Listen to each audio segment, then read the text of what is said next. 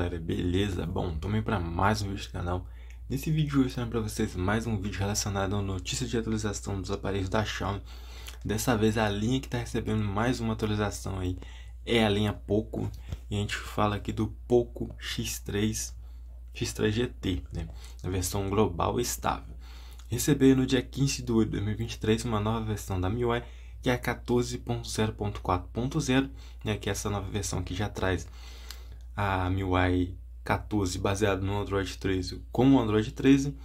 É, essa atualização traz para a gente também o update do pacote de segurança, a incrementação do sistema de segurança geral e o patch aí já de agosto de 2023. Por enquanto, essa atualização está liberada apenas para quem é testador beta da empresa, né, que esteja cadastrado no programa MPload. Eu vou deixar um link aí na descrição para vocês estarem acessando, que é um vídeo ensinando a se cadastrar no programa, né? De testadores beta da Xiaomi, para estar tá guardando essas, é, essa. ter como que eu posso dizer, essa prévia né, da atualização antes das outras pessoas. Lembrando que a Xiaomi demora um pouco a responder e às vezes ela nem responde, ela apenas libera a atualização para você como forma ali de comprovar que você já está dentro do programa de testadores betas, beleza?